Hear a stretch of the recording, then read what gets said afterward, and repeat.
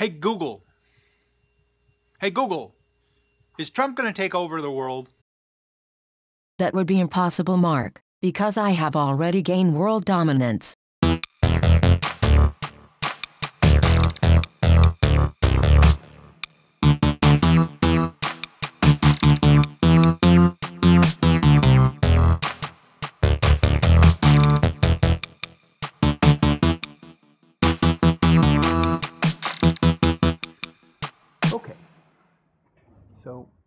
This is going to be the history of Portal chess. And so only actor in this is going to be my hands and the chess board. But we're going to tell the story of Portal chess. I have the rules of standard Portal chess here with me. And we're going to go over those rules at some point. But I don't want to go over those right away because there's kind of a backstory, a history behind everything that I'm going to be presenting here today. Um, so Portal Chess actually evolved from a game I called Fantasy Chess. And it wasn't really my, entirely my idea. It was inspired by a, game, a guy named Mark Sias. Now what happened was, we were playing chess, and he was losing. He says, I hate the rules of chess. Well, I said, okay, well, let's make new rules. I mean, I'll beat you at those too, right? so we decided that uh, we would invent a game of chess. And so in this packet is the original game we called Fantasy Chess. And the board was four times a regular chessboard. And um, we invented a lot of different types of pieces in that process. And one of the pieces that I thought was kind of cool was this idea of a wizard. Now I'm going to use this queen to illustrate what the wizard did. Now what the wizard would do is it would create lines on the chessboard that people couldn't cross over. So it would be like a, a block, a shield, if, if you will. And what's important to understand is when you have a really large board, like we have 60, uh, what is it, 60, 16 by 16 grid, okay? Pawns become really ineffective, right? Because they're so far away. They, they have a long way to travel if they're only traveling one or two spaces, two in the first move. Okay, so you either have to change the behavior of pawns or invent something that's going to make them more effective. So this was one idea. This was to block the power of the queen, because if you have a queen, a queen can travel the entire board really fast. How do you block that kind of stuff? So this was the idea behind the wizard. I thought that was a really interesting idea. Um, then that's in this, uh, that's one of the uh, items that I have in uh, this particular packet. Um, now, I sent this to myself as sort of a historical record. This was sent to me, um, it's never been opened since I sent it to myself back in, uh, I believe it was 96 or believe that's in 96. Unfortunately, their stamp wasn't working very well that day, and that is all I have. But at any rate, this was the certified mail I sent to myself to prove that to prove the date that this was done. And I put on the side, fantastic chess. Or what, but I meant to say fan, fantasy chess. Anyhow, that is the first step in the evolution of portal chess. Now, the um, the only people that ever played fantasy chess, and the only person actually that ever really played a full game of fantasy chess, was my brother Bill, and he did that in probably '98 in Min Minnesota when we were visiting um, our foster grandparents. Now that's a story in, in and of itself, but that's the history. We played a couple games there. And he actually killed the idea in my mind. I felt it was too complicated. And that has to do with the board dimensions. It was too large for fun play. And so one night I was waking up or was waking up and I was planning. Oh, I don't know, remember how, what exactly happened, but a friend, I was going to Olympia with a friend, Olympia, Washington. I think there's only one Olympia, but in, anyways, and she wanted someone to drive with her, so I said, okay, fine. And I thought, hey, you know, this would give me an opportunity to. Um, there was a chess club or a, the, in next to the bus station there was, and I think there still is sort of a cafe that allows people to play chess. People go there and play chess. So I decided to try out something a little different. I scrapped everything in fantasy chess except for the portals. The one thing I really liked about fantasy chess was the portals. I thought they were wicked cool. So I said, now wait a second. Why couldn't I just add portals to a regular chessboard? It would eliminate all the problems you have with a large chess size, and then you'd get down to this regular chessboard. And so that's what I did. And so we just simply, taking quarters, I started placing them on the board. And lo and behold, damned if it didn't work the way I wanted to. And I played with a professional chess player or a highly skilled chess player at this um, cafe. Um, now, nothing much came of it at that point. I was working on the rules, but it didn't. I hadn't even formalized the rules. The formalization of the rules occurred probably between 2001 and 2002. I wrote a um, program which is downloadable. It's for Windows, uh, Mac, and Linux. And basically, all it really does is just enforces the rules of standard portal chess. Um, so the rules that I'm going to be describing here have been formalized and do have source code as well as um, a, a, working prototype that you can um, use to just sort of practice um, standard portal chess. Now,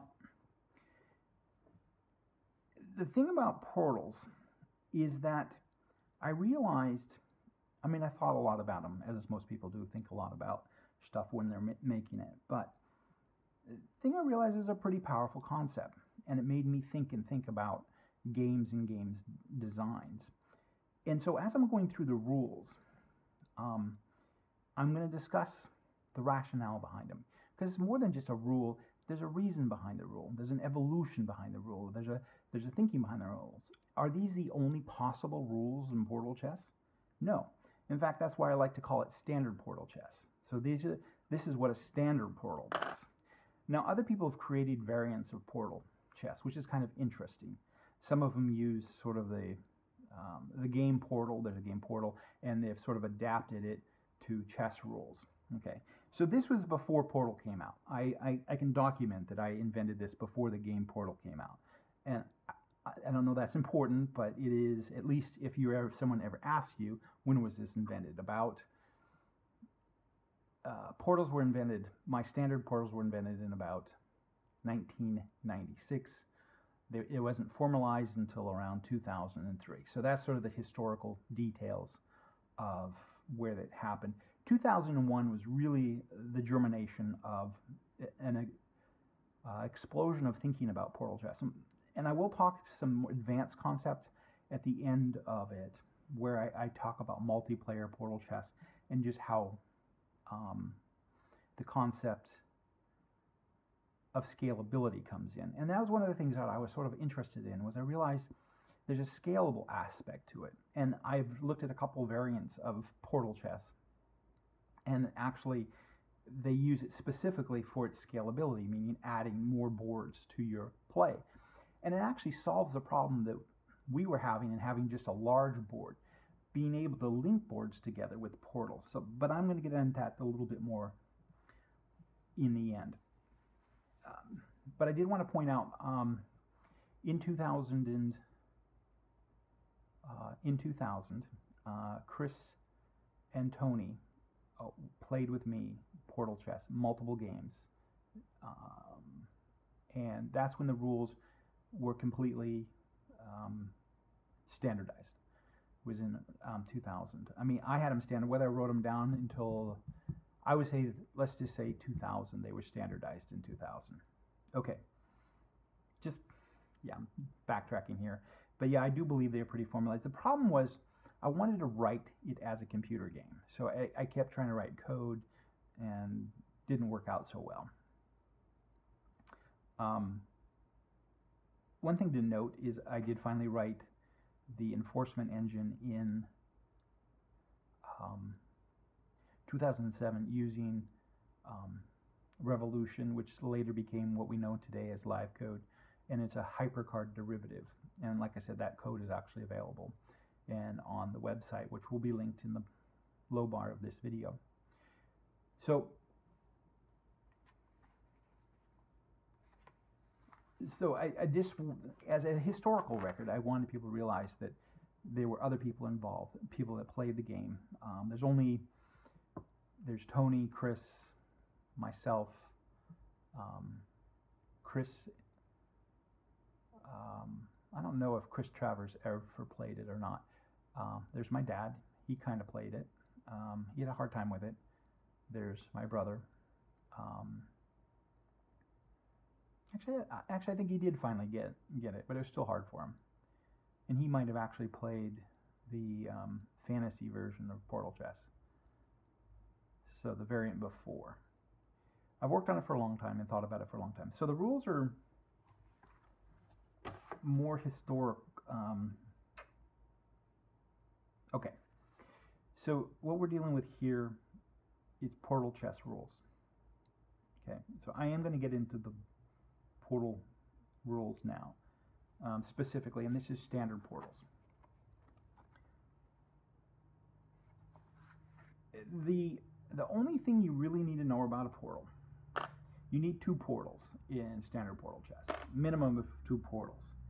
And the reason for that is portals work in conjunction with each other. So this is a standard portal move. Uh, This piece goes there and that piece goes there. So it is dynamic attack activated. So for example, if the pawn was here, it couldn't jump onto there because that's not an attack move for a pawn. That's a forward motion move for a pawn. So portals are attack activated. And that's actually the reason they're attack activated is because of the pawn. Um, it was should it should the pawn be able to use it whenever it wants to? If the pawn can use it whenever it wants to, then the portal would be optional. Portals are non-optional. Thus, the pawn can't move there, right? So it's a blocking. This this portal is blocking the pawn's advancement. So when I say the attack activated, created this blocking characteristic of the pawn. If it's not attack activated or if it's optional, the pawn could move here. But since it's non-optional, it's blocking. And that's sort of a funny concept, um, but it has ramifications, a lot of ramifications in the game.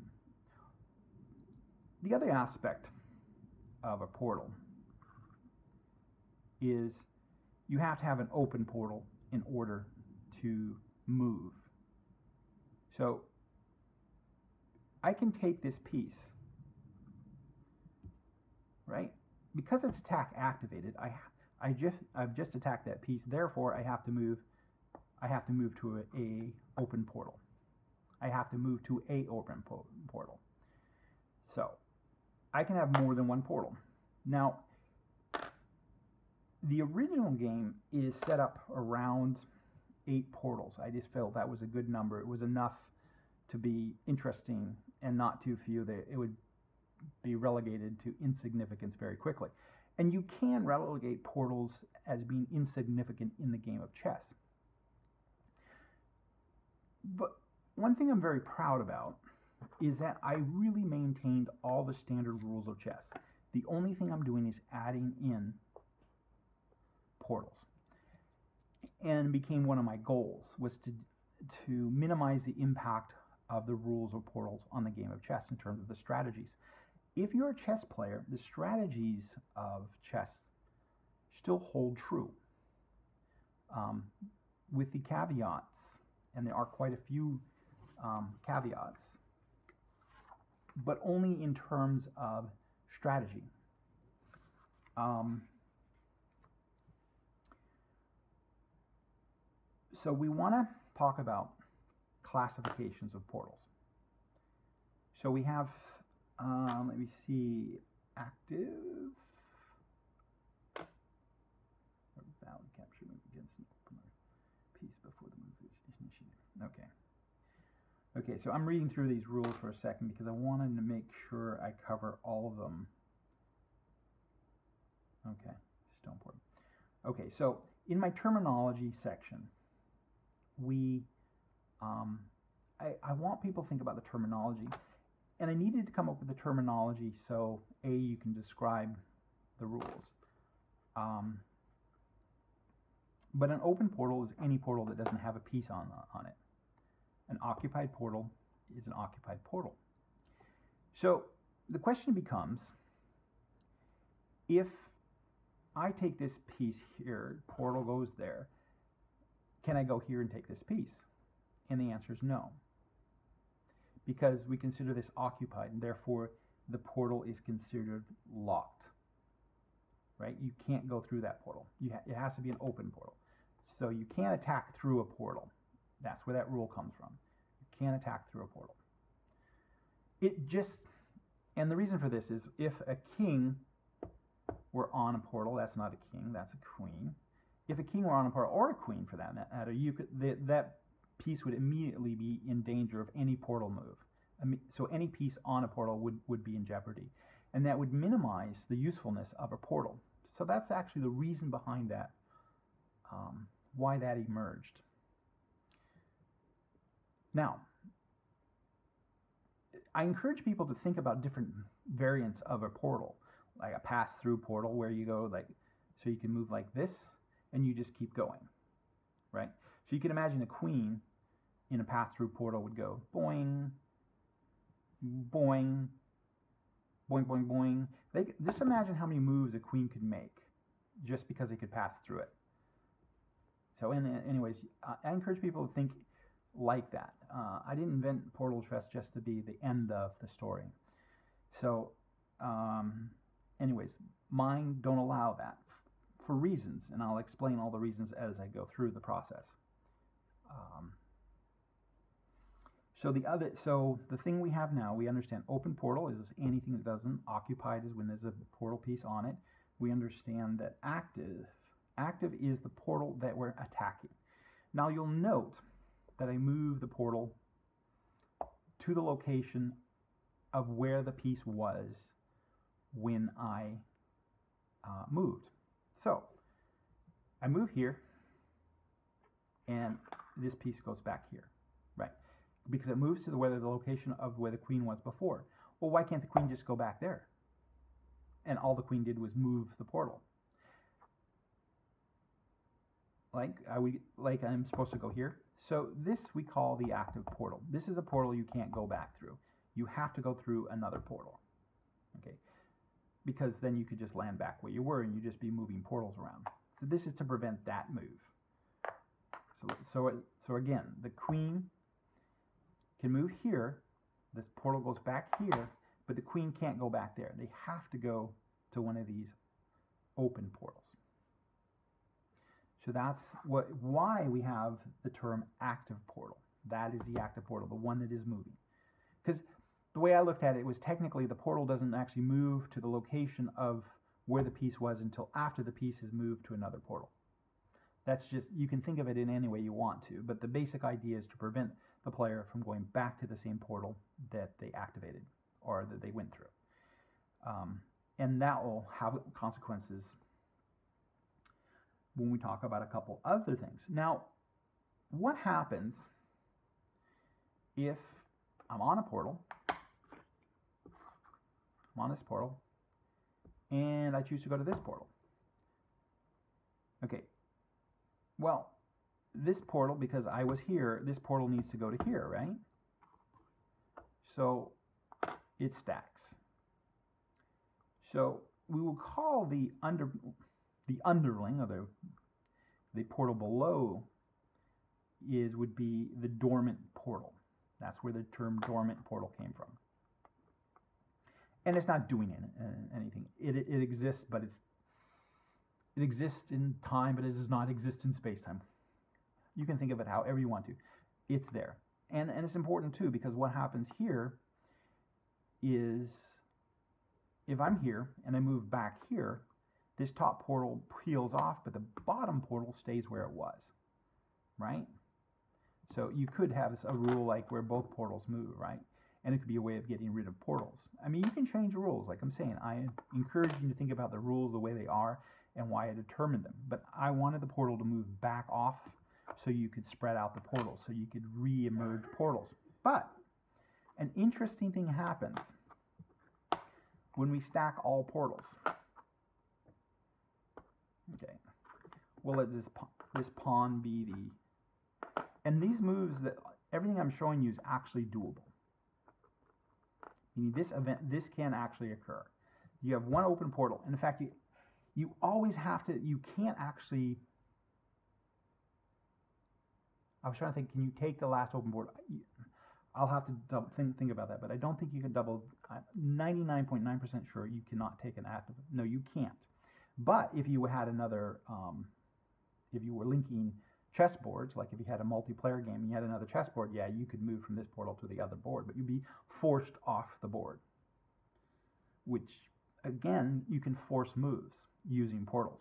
And, and that's fun stuff, where you can actually force a move. But here, so what does this portal do? In this scenario, there's no open por portals. What does this portal do? This portal is completely blocked. You cannot go through it. You cannot go around it.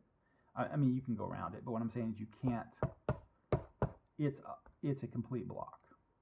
Now, we could have made it invisible and you could go over it if, if it was stone, but I preferred to keep the characteristic that it has if it's a normal portal. So I call it a stone portal. And that's how you get a stone portal where all the portals are covered. In this case, it's all stacked and they're stoned. That's your stone portal right there. Okay. So that's really everything you need to know about portal chess.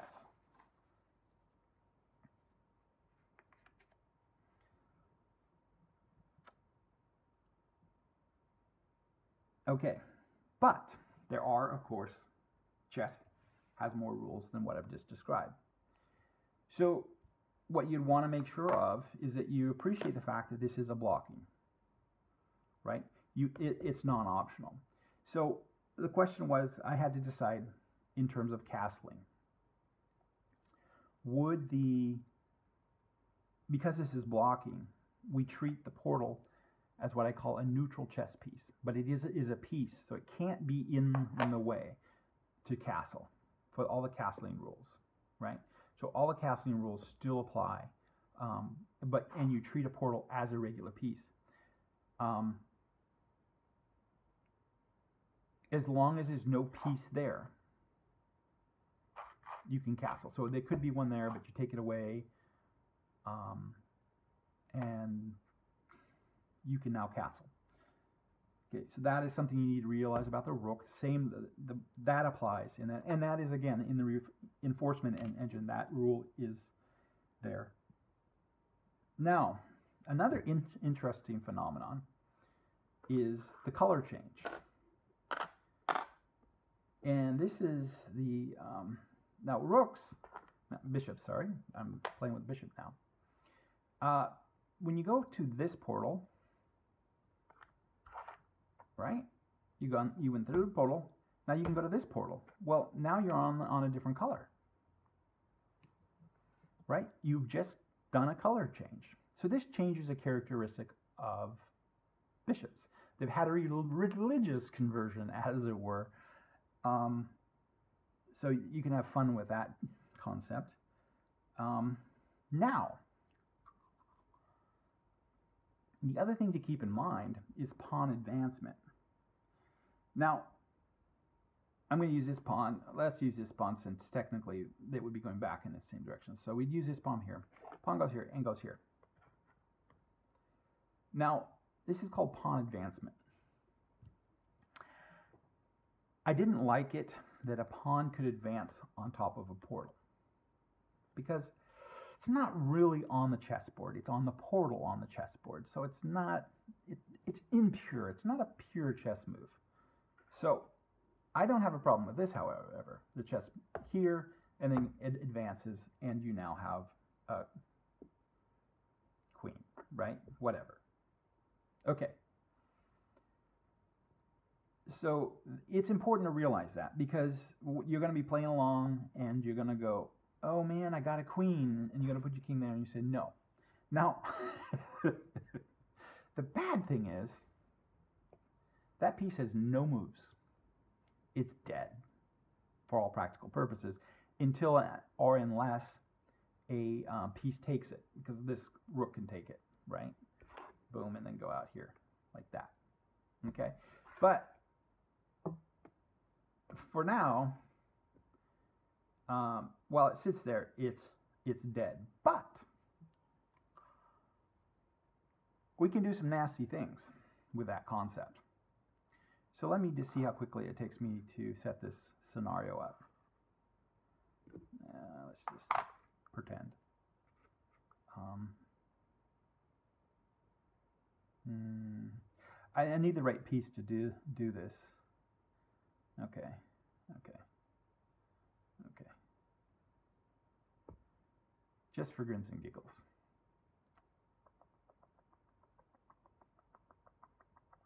We got to get rid of this piece. And we're going to put the portal right there. Now, of course, this is a concocted move, right? But I wanted to il illustrate a point here. This is a checkmate directly created by the portal. Now, why is that a checkmate? It's a checkmate because the king cannot take the queen. Now, it can, but where's it going to end up? It can go there, it can go there, it can go there. But all those portals are covered, or it can go there. And again, all portals are covered. The king can take the, the king. So that, ladies and gentlemen, is a portal chess derived checkmate. Okay? Now, for me, that's pretty exciting. Not for many people, but for me, it's an exciting ramification of portal chess. Um, that there are new, there are new, um, new things to be discovered, and there are some truths that are true about portal chess that is not true about regular chess. Um, and things that I've just sort of thought about. For example, this pawn can go back.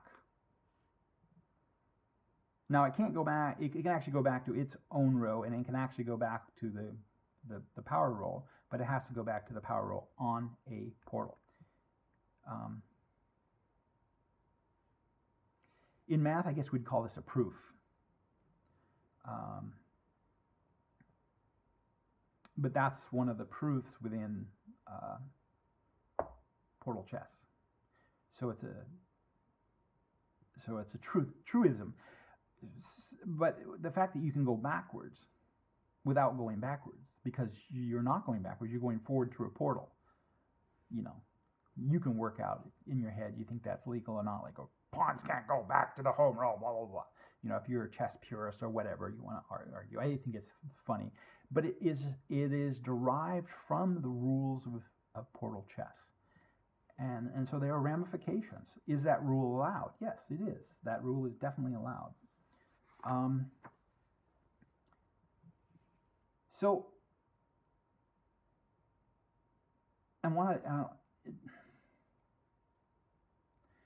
one of the one of the things that um, you may wonder is, are good chess players if you're not a good chess player, would this make you a good chess player if you play with uh, portals? No.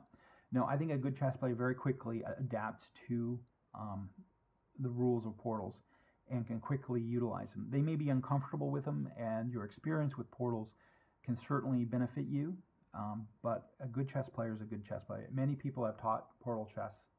Um, back when I was in Olympia, the guy that I played chess with basically just tried to avoid the portals, just tried to get them out of his, his way, and he, he kind of ignored them. So it's kind of like he gave me the advantage with the portals, but even with the advantage of the portals, I still couldn't beat him.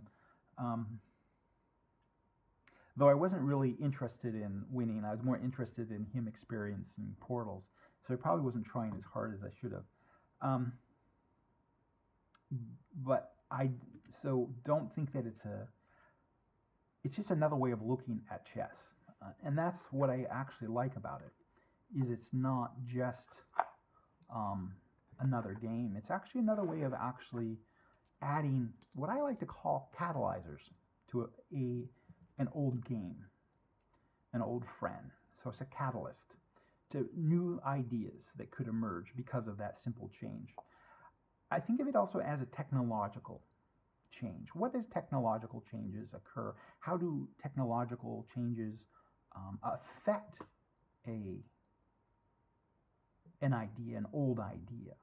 So for me, this has been a very a philosophical tool to think about um, change and how a simple change can have a cascading effect of change. Um, one of the ideas that I think is fun, and, um, and this is something to just think about in terms of fairness and that sort sort of thing. Um, classically, uh, it's this is not going to look very good. I'm trying to think of how to do this quick, and I didn't um, think too far ahead. But let's say this queen is pinned, right? This would be considered a pinning move. This this queen can't move, right? Traditionally, the, the queen is, is pinned by the the um, by this queen. You, this queen is not move, movable. Um, just make it more interesting. We'll put it here. No, that's probably not very interesting. After all, mm, where would be a good place to? We got to get rid of this piece. Make it more in interesting, right? Okay, where would be a bad place for that portal to be?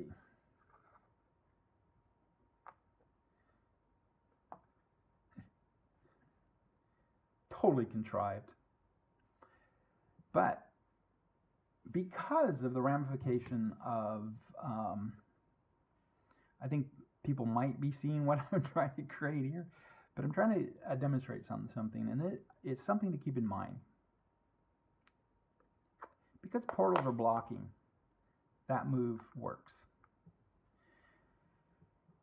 Normally this would be pinned, but because I have the ability to block with the portal, this piece is actually, because there's only two portals on the board, this piece is actually a stone portal. So you can't go through that portal. Completely protected. And I have you in check. Now, of course, too bad for my queen. da, da, da. Anyways, um, the, you, you get the basic idea. Uh, hopefully. Like I said, those that's a move that does come up from time to time where you can move a piece because it's not actually pinned anymore. Um, knights are fun because knights can, you know, knights have the um, ability to move through portals. But remember, how does a knight move through a portal? It has to be, you know, it's only valid um, attack moves. So it can only move by a valid attack moves, but then it can go anywhere there's a portal, just like it normally can. So some people might ask with the color change, because bishops can now do color changes, um, which is a more powerful piece.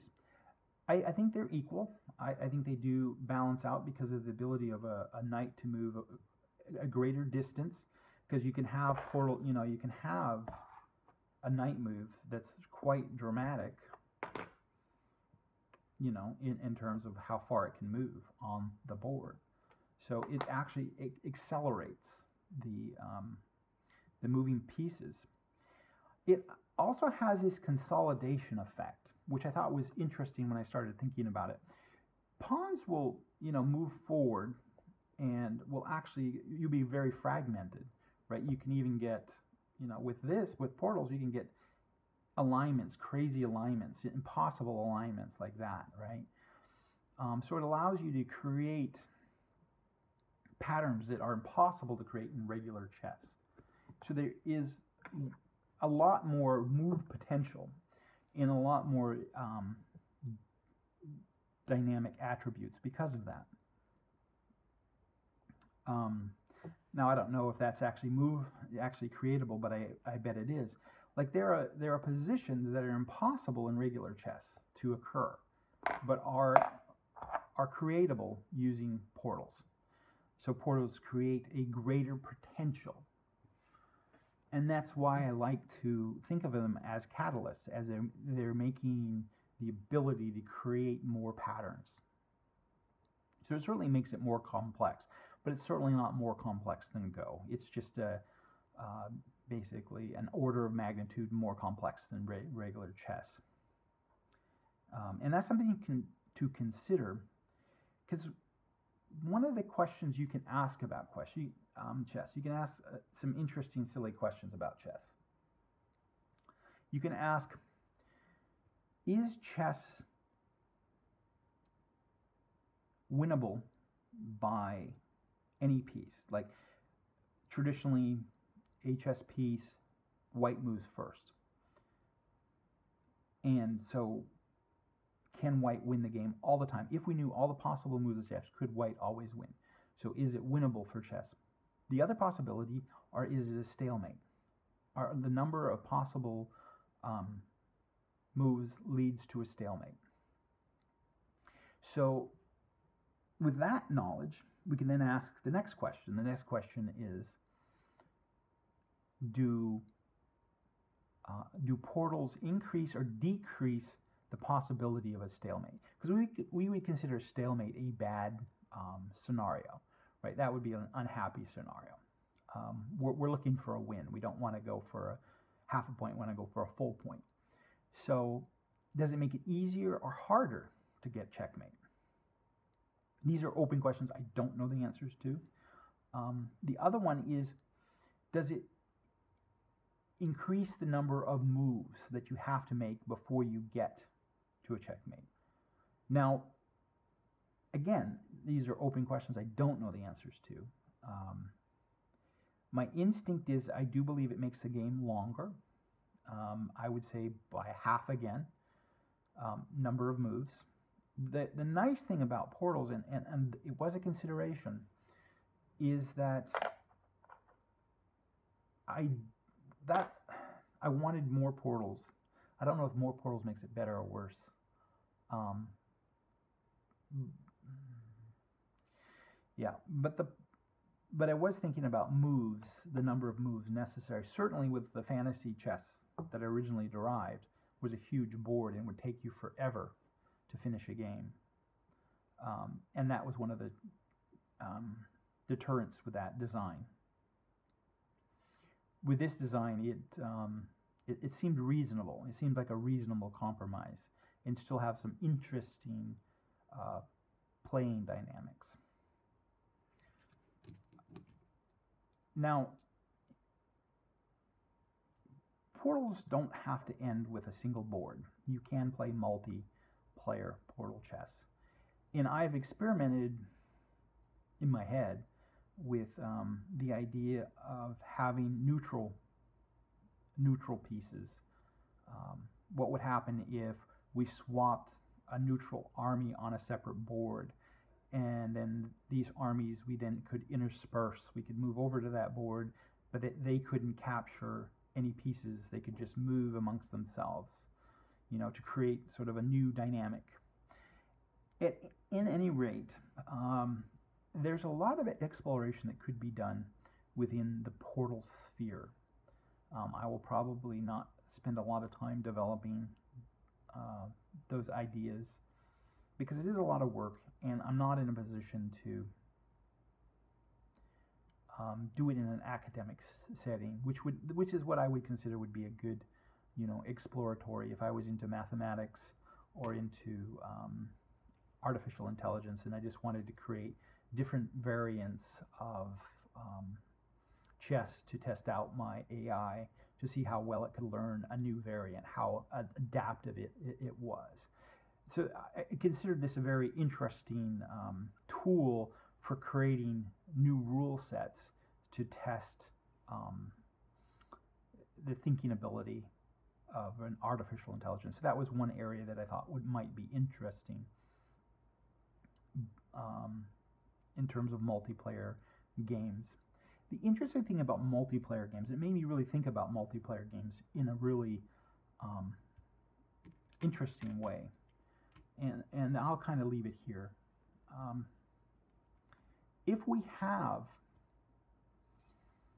a multiplayer game, we have multiple pieces. Let's say this is a red piece and this is a blue piece.